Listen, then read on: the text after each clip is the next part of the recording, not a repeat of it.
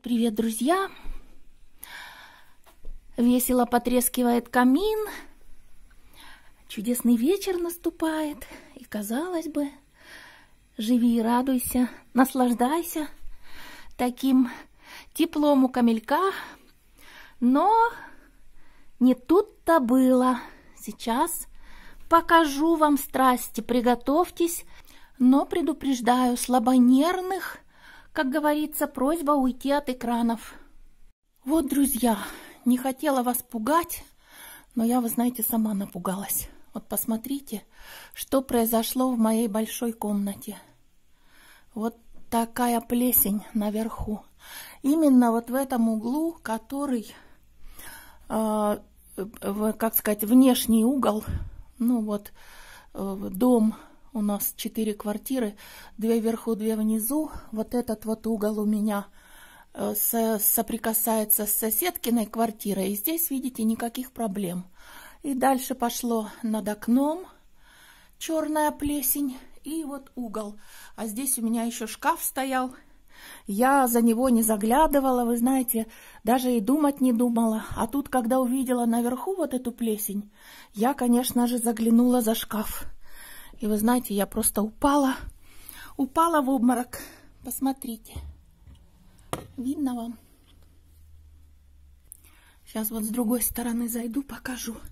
Вот видите, черный. Там внизу палас, он просто сырой. Вот понимаете, что творится? Вот здесь вот такое...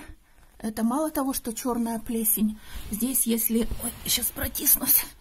Шкаф отодвинула специально.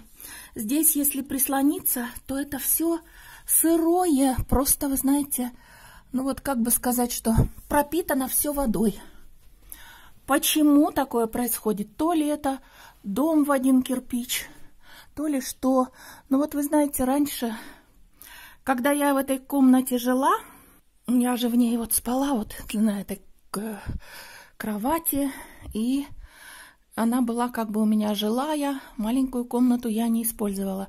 И вот здесь, когда я жила, я все-таки включала камин. Сейчас покажу вам. Вот у меня, видите, камин включен, газовый. Ну и еще у меня есть здесь батарея.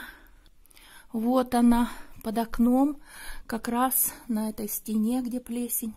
Я ее тоже включала иногда. И не было такого безобразия, как сейчас. Вот сейчас я отодвинула этот шкаф оттуда. Сейчас там немножко вроде стало получше, не так мокро, было мокро ужасно, просто даже как бы текло по этой стенке. Вот я включила вот этот, видите, вентилятор такой с обогревателем, фан-хитер. Он у меня там стоял направленный на этот угол, что-то подсохло. Но все равно, конечно, это кошмар. И вот мне тут говорят, что срочно тут помойте, срочно про чем сделаете специально такие есть э, дезинфекция, антиплесень, античерная плесень. Ну, а эти, конечно, все, видите, mold killer, это убийца плесени, вот черной, видите, показано. Вот он, пожалуйста. Вот этот, кстати, самый лучший. Astonish фирма убивает плесень. А потом у меня еще есть, я купила а, вот такую вот краску, посмотрите, Делюкс. Кстати, очень дорогая, 14 фунтов, 1400 рублей. Вот видите, дамп, сел, премьер, Undercoat. Даже не знаю, как это переводится. Но дамп это сырость, а вот сеял это вообще-то тюлень. Ну или как пломба, да? Пломба уплотнение и премьер and undercoat. Undercoat это типа такое уплотнение. Ну, подождите, опять утепление под, как подкладка. Короче, вот. Короче, вот. И вот тут нарисовано, что надо, видите, красить все эти стены. Ну, полная новая краска. А, вот дождусь весны. и буду все чистить, блистить, убирать. Мне не привыкать. А, но это все понятно, друзья. Дело-то не в этом, а в том, что всю эту антиплесень я ее на кухне, например, использовала постоянно. Но каждый год, как только зима, все возвращается.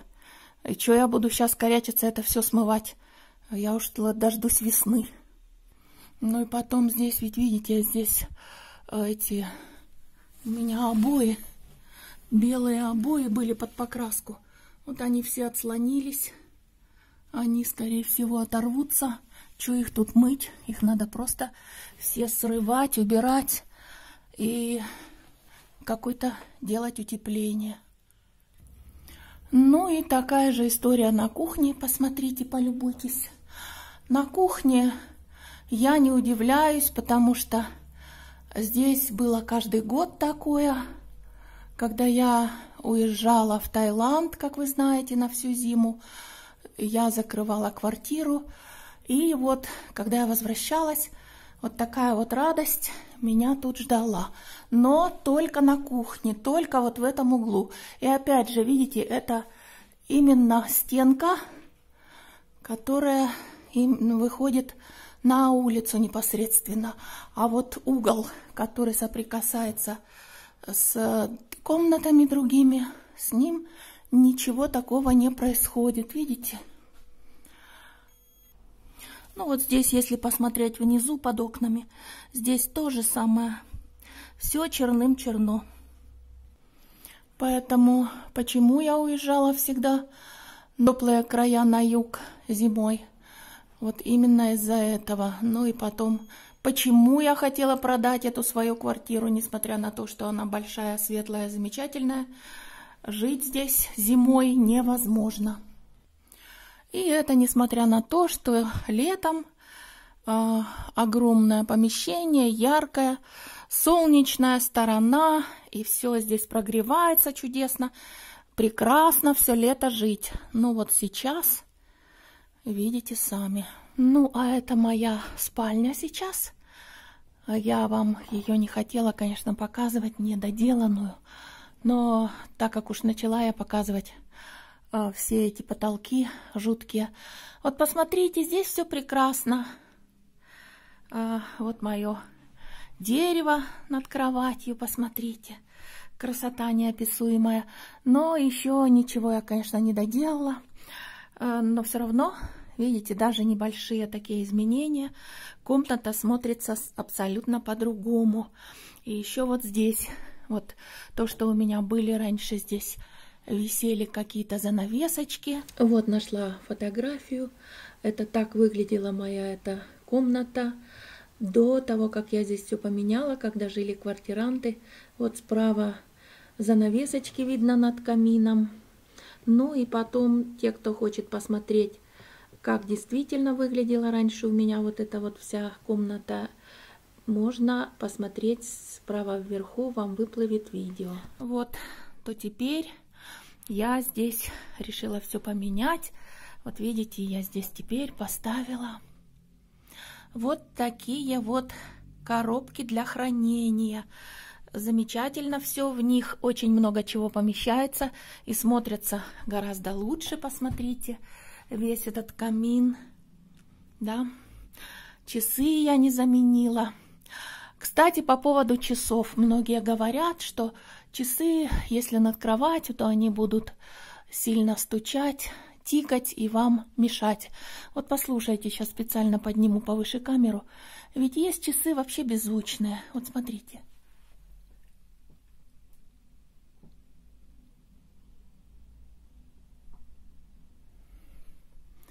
Слышите, может быть, что тишина. Даже больше слышно, как у меня Машины ездят здесь за окном, а часы вообще беззвучные.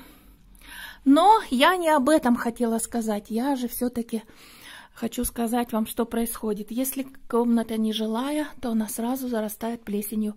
Почему так происходит, я не знаю. И вот здесь, кстати, тоже я вытащила эти отсюда коробки. Вот они все у меня здесь стоят. А почему? Потому что Опять же, когда я поставила коробки сюда, здесь этот угол стал тоже а, мокрым. Он не заплесневел, но он стал мокрым. Здесь, видите, у меня покрашено. Здесь не обои, а покраска. И притом покраска такая именно, которая сохраняет, защищает от плесени. Но, тем не менее, вот здесь, когда закрыто, нет проветривания, закрыто ящиками, и сразу все опять сыро. Вот видите, там даже опять начала от, отламываться эта краска. А я хотела вам показать, когда уже все закончу в полной красоте. Хотела же я здесь переклеить обои также. Вот видите, я обои уже закупила. Сейчас вам покажу. Ага.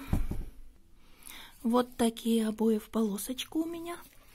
Это обои, вообще-то обои виниловые под покраску.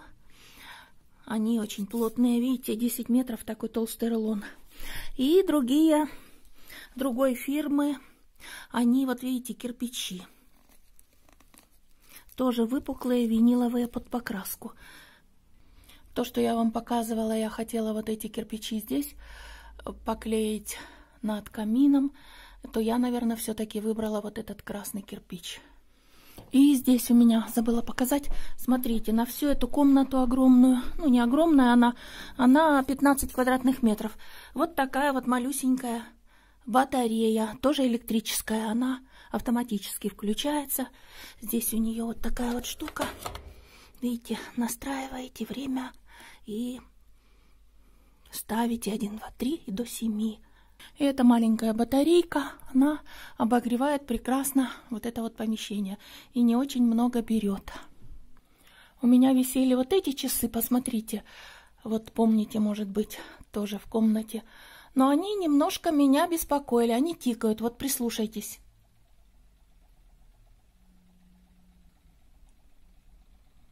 Слышно вам? Тихо, конечно, очень, но тикают. И вот эти часы на кухне, они у меня тикают как трактор. Вот послушайте.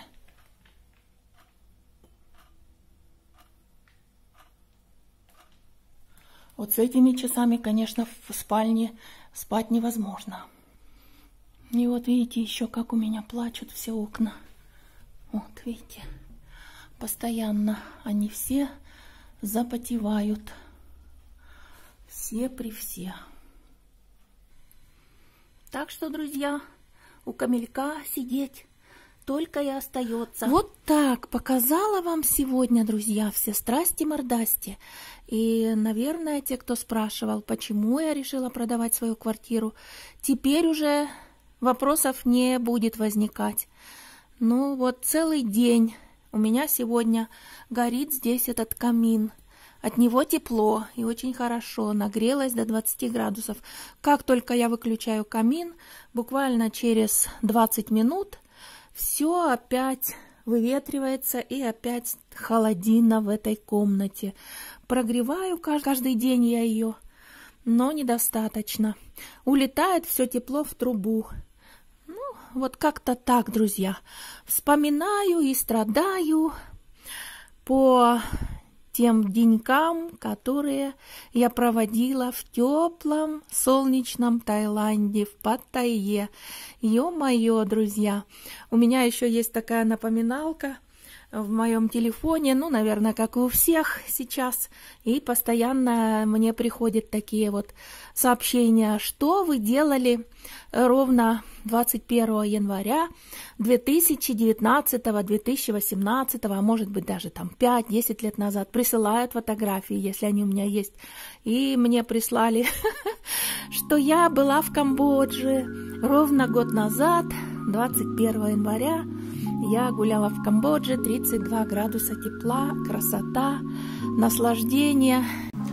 И все-таки хорошо, что есть такая функция напоминалка в телефоне. И вот я хочу сегодня вспомнить сама и вам показать все мои фотографии прошлого года.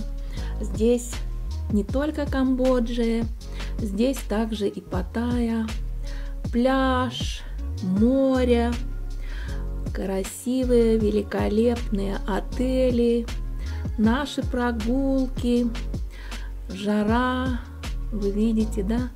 Вот такие вот вечерние а, ужины с задиранием ног. Ну и всякие разные селфи, которые мне мой телефон прислал и которые просто странно сейчас смотреть. Даже не верится, что ровно год назад в это же самое время, в январе месяце, вот я ходила абсолютно раздетая, изнывающая от жары.